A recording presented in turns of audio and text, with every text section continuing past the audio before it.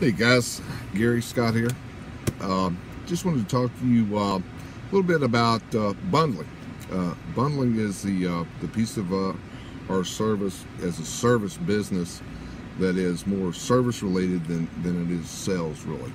Um, it's the one tangible thing that our customers see that we do. So when we're out when we're out doing the inspection, you know, we want to check the house top to bottom, make sure that we're doing a complete diagnosis of the uh, of the problems here. Uh, it's no different than a home inspector if um, you know when you bought, bought a home or sold a home that comes in and they tell you anything that's wrong there that needs to be fixed before the new homeowner or yourself if you're buying the home they tell you all those problems that uh, that need to be fixed before you know before you go into that house or you sell that house. Uh, so it's a protection thing. And what we do is the same uh, we're checking it top to bottom, and it's the one service related part of our business uh, that we do as sales inspectors.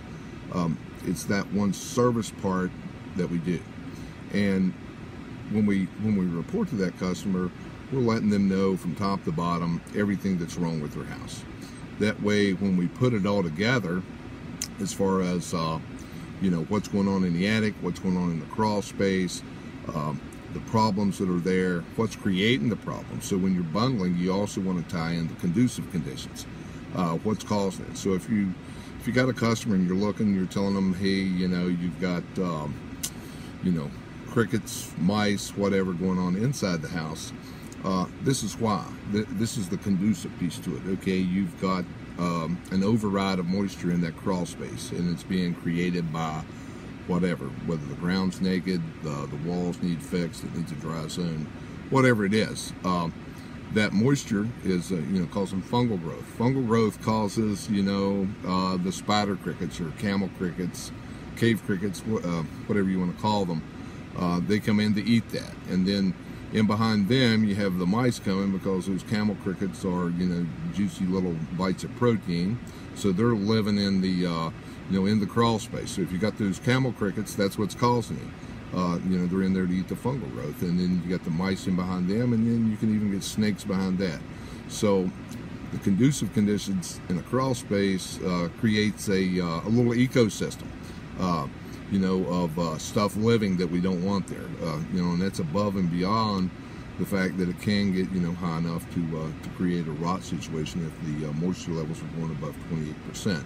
So, same thing in the attic. You can have things over winter in the attic. You know, different kind of insects. Um, mice will come in, you know, to uh, to get them, and you can have that same little ecosystem going on up inside the attic. So when we're out there bundling and doing that full home inspection, which is the service piece uh, of our job as salespeople, we want to be sure that we tie everything in with what we do. You know, whether it's um, you know it's in the attic, underneath, the exclusion outside, you know, all the conducive conditions going on in a home ties in to the problems of that bundle. So when we're pitching it from top to bottom, you know, and you're talking to that customer, be sure you include that.